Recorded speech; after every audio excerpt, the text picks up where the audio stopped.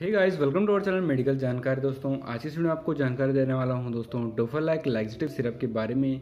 तो दोस्तों, बने रहे हमारे इस वीडियो के साथ। और दोस्तों, अगर अभी तक आपने हमारा चैनल सब्सक्राइब नहीं किया है तो जल्दी से मेडिकल जानकारी को सब्सक्राइब कर लीजिए और सब्सक्राइब के साथ बेल आइकन को ज़रूर प्रेस कर लीजिएगा। ताकि जब भी नई वीडियो आए तो आपसे उसका कोई भी नोटिफिकेशन मिस ना हो पाए।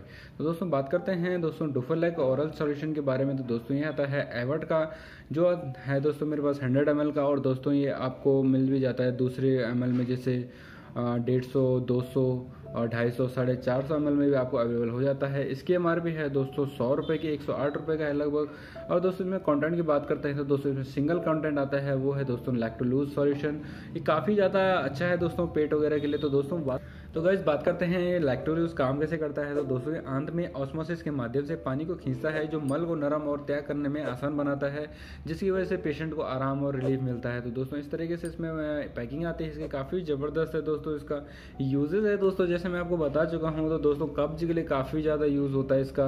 यानी अगर आपका पेट फूल रहा है, पेट साफ़ नहीं होता है, पेट में भारीपन रहता है, उकाई आती है खट्टे डकार आते हैं, पेट में दर्द वगैरह रहता है, खुलकर स्टूल पास नहीं होता है, गैस वगैरह हो जाती है, आंतों में इन्फेक्शन हो जाते हैं, पेट वगैरह में एंटन हो जाती है तो उसके लिए काफ़ी ज़्यादा इसका रिज़ल्ट है। यानी पेट के लिए किसी भी तरीके के प्रॉब्लम्स के लिए आप इसका यूज़ इजीली ले सकते हैं।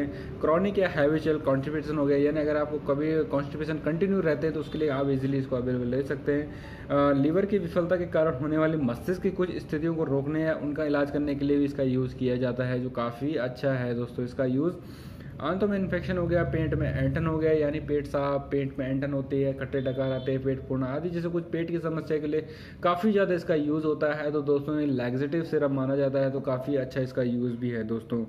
डोज की बात करते हैं तो दोस्तों को 30 से 50 एम की डोज दिन में तीन से बार, दो से तीन बार इसको लिया जा सकता है। बेसिकली लोग इसको रात को ही लेते हैं।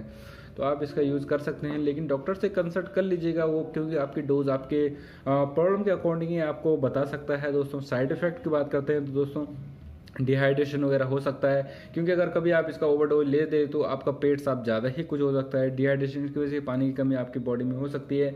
मितली, उल्टी या आंतों में डकार जैसे आदि कुछ प्रॉब्लम्स आ सकते हैं। तो आपको अगर उसको साइड इफ़ेक्ट होता है तो डॉक्टर से कंसल्ट करिए और मेडिसिन को बंद कर दीजिएगा। प्रिकॉशन की बात कर लें तो दोस्तों, इसका यूज़ करने से पहले डॉक्टर से कंसल्ट कर लीजिएगा। अगर आपको लीवर प्रॉब्लम है एलर्जी है इस कंटेंट से तो इसका यूज़ मत करिएगा। हार्ट डिज़ीज़ वगैरह जिसको प्रॉब्लम है तो इसका यूज़ बिल्कुल भी मत कर लीजिएगा। गर्भावस्था इस्तेमाल करने से अपने डॉक्टर से एक बार कंसल्ट कर लीजिएगा। तो दोस्तों, ये था डोफोलाइक लैक्सिटिव सिरप के बारे में कंप्लीटली जानकारी। अगर आपको वीडियो पसंद आई है तो वीडियो को लाइक करिएगा शेयर करिएगा और दोस्तों चैनल को ज़रूर सब्सक्राइब कर लीजिएगा। तो दोस्तों, मिलते हुए नए वीडियो के साथ। Okay bye tata and thank you for watching